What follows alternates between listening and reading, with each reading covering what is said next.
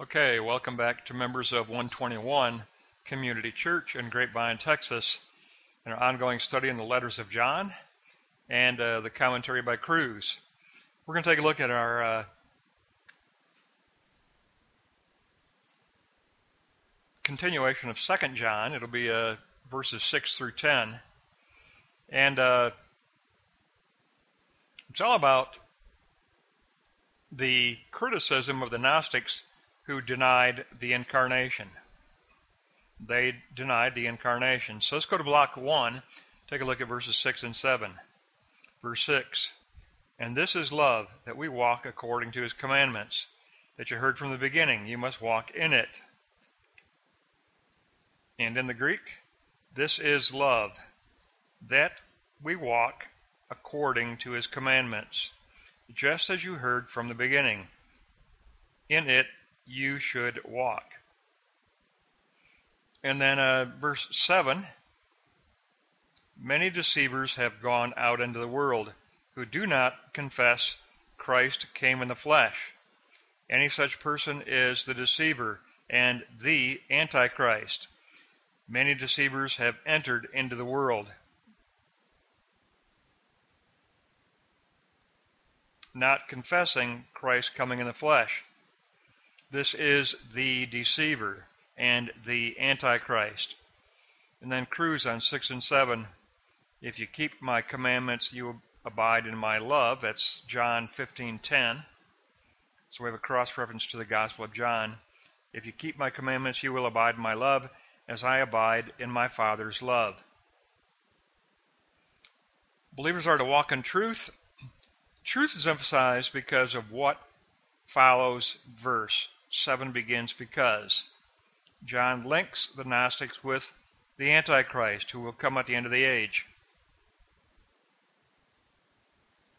But it's all about walking in truth this time. It's not walking in love, it's walking in truth because he elaborates in verse 7. The Gnostics will not affirm Christ came in the flesh. And true believers affirm that Christ did come in the flesh. True believers affirm the incarnation.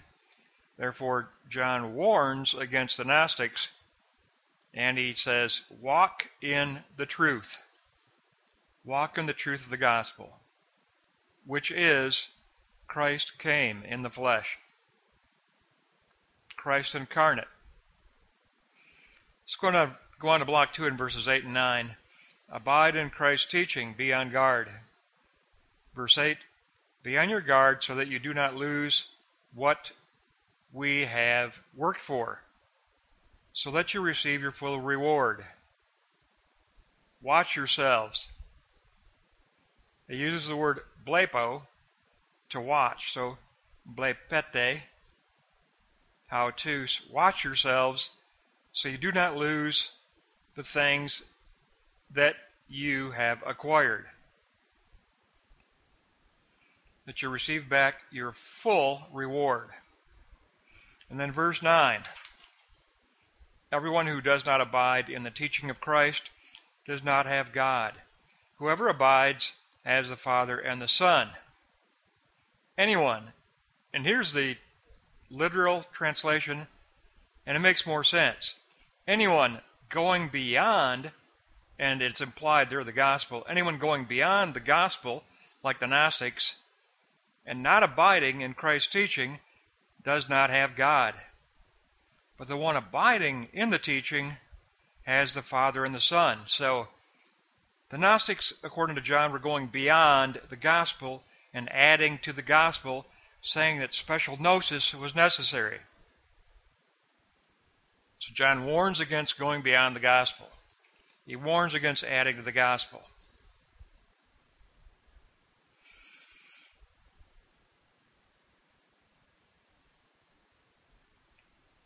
So if we look at verse 9, block 2, verse 9, everyone who does not abide in the teaching of Christ does not have God. Whoever abides has the Father and Son. And it's all about that going beyond. It's all about going beyond pas ha proagon. anyone going beyond. That's what John's really saying. Anyone going beyond the gospel, anyone going beyond the gospel that Christ came in the flesh, anyone saying we need to add to the gospel is a liar. Is a liar.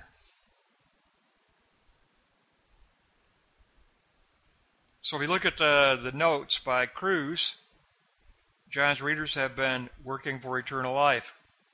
Cross-reference John 6:27. Work for food that endures unto eternal life, which the Son of Man gives to you. This work equals to believe in the one God has sent. John warns his readers not to run beyond the gospel to false teaching. Instead, they must abide in Christ's teaching. Period. So if we look at verse 10, block 3 do not receive into the house or welcome anyone who does not bring this teaching. If anyone comes to you who does not bear this teaching, do not receive him into your house. That's the order that it is, reads in the Greek. Whoever does not bear this teaching that Christ came in the flesh do not receive him. John's readers are not to recognize false teachers as being in good Christian standing. They are not in good Christian standing. If they deny that Christ came in the flesh, they are false teachers. So, block one is all about uh, walking in the truth the truth that was heard from the beginning. You should walk in it. And then, especially verse 7 many deceivers have gone out into the world. Those are the Gnostics.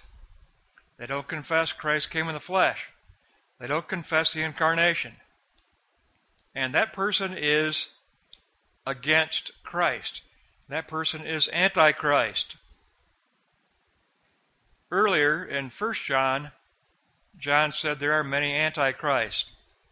There are many Gnostics. So block one warns against those who are against the incarnation. And then block two, verse 9, he says we must abide in this teaching.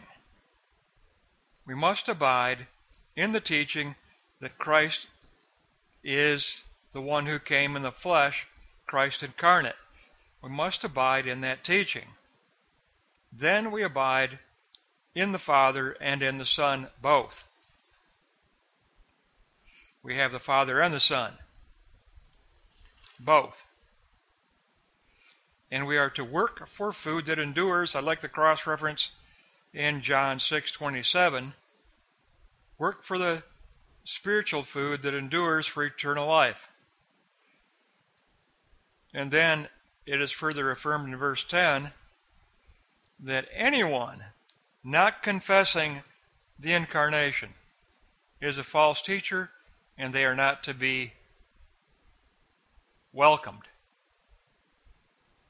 We must reject, we must criticize false teachers who deny Christ incarnate. A core truth to the gospel for John is that Christ came in the flesh as Son of Man to bring redemption to all mankind. It's essential that Christ came in the flesh. It's essential to the gospel. To deny that is to be against Christ. To deny the incarnation is to be anti-Christ. So we get uh, great teaching on 6 through 10 here. And uh, 2 John is so short, we just have uh, three remaining verses to wrap up 2 John. So this is the penultimate lesson for 2 John. That'll wrap up verses 6 through 10 on being on guard against those who deny Christ incarnate.